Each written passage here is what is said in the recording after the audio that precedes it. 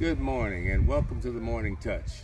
I'm Darwin Campbell with FSBC, Sorrel Ranch in Glendale, bringing you the message for today. The message for today is simple. In, in light of all the latest uh, news that we received about the COVID-19 virus, I want to share with you some powerful information from the Apostle Paul in Romans chapter 8. There Paul says, in all things we're more than conquerors, starting with verse 37 of chapter 8 through him who loved us. For I am convinced that neither death nor life, neither angels nor demons, nor things present nor things in the future, nor any powers, neither height nor depth, nor any such thing in all else of creation will be able to separate us from the love of God that is in Christ Jesus the Lord. My friends, today in light of the negative news and the negative situations that people find themselves in with COVID-19, I want to be encouraged. Paul said, no matter what condition or situation that I find myself in, absolutely nothing can separate me from the love of God in Christ Jesus. And he lists a number of things that that we go through.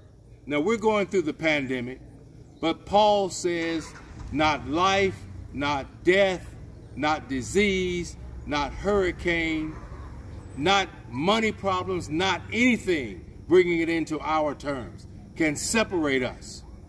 Paul says absolutely nothing can make me walk away from God. Nothing can make me walk away from Jesus Christ because the promise is too great. The promise is too good. The promise is too eternal. The words for the day is that these are powerful words in tough times.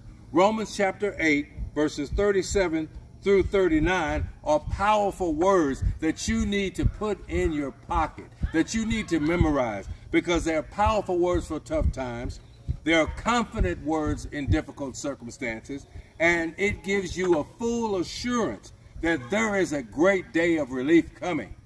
There is a great day of relief coming. Amen. And Paul says, I will not trade that great day of relief for anything. Yes. The promise is great. The promise is eternal. The promise is worth fighting for. It's worth walking through the fog. It's worth dealing with the pandemic because the promise is real and it's true.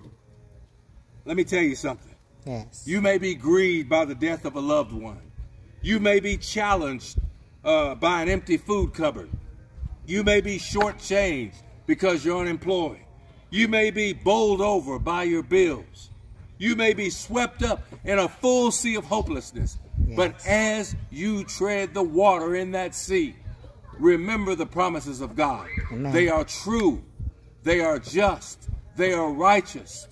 They will come to pass. Yes. There is relief from this sea of hopelessness. Thank you. There is relief from the grief. There is relief from the challenge. There is relief from being bowled over. You see, Satan's goal is to break you down, to wear you out, to make you quit, to kill your faith. That's yes. what the devil is doing in this crisis. But I'm telling you, be like the Apostle Paul. Do not allow the devil to steal your joy. Yes. He says, no matter what happens in my life, no matter what I go through, no matter what I'm dealing with, he says, nothing will separate me from the love of God in Christ Jesus. Yes. So, my friends, Romans 8 is the right message for you today. Romans 8 is the right word for you today. That no matter what is happening in your life, do not allow it to separate you from the love of God and Jesus Christ. Amen. Do not allow Satan to whisper lies into your ear and cause you to quit or give up. Romans 8 is for you. The love of God. So we encourage you today. Stay focused, stay on course, stay committed, stay on track. Do not give up because heaven will truly and surely be worth it all. Man. God bless you. You know, the Morning Touch is brought to you by the First Southern Baptist Church in Sorrel Ranch in Glendale. We are certainly glad to be able to bring this to you, and we hope that it builds you up and encourages you. Do not let nothing separate you from the love of Jesus Christ. God bless you and keep you, and we'll see you again next time on The Morning Touch.